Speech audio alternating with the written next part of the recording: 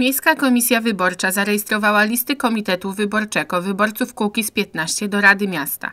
Jest to już trzeci zarejestrowany komitet. Okręg pierwszy. Marcin Motylewski, Stanisław Sadowski, Robert Znyk, Wanda Rosińska, Żaneta Grudzińska, Angelika Zduńczyk, Agnieszka Gładysiak.